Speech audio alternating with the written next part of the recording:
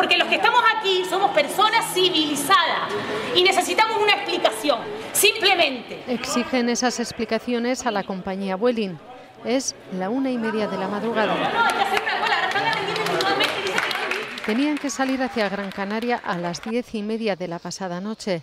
El vuelo se retrasó un par de horas, pero para las doce y media los pasajeros, unos 100, estaban ya en el avión listos para despegar. Pero el avión no despegaba. Al poco han pedido a los pasajeros que se bajen del aparato allí un puto boicot y no salió del avión. Eso lo primero.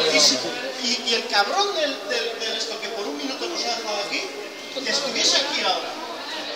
Al parecer, al retrasarse el vuelo, ha llegado la hora de cierre del aeropuerto. A partir de la 1 menos 20 de la madrugada, ya ningún vuelo puede despegar del hoyo, según nos ha confirmado AENA.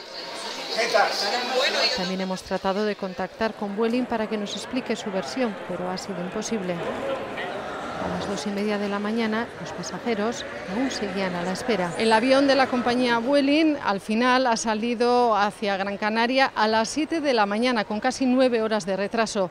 El resto de vuelos de la compañía han operado con total normalidad a lo largo de esta mañana.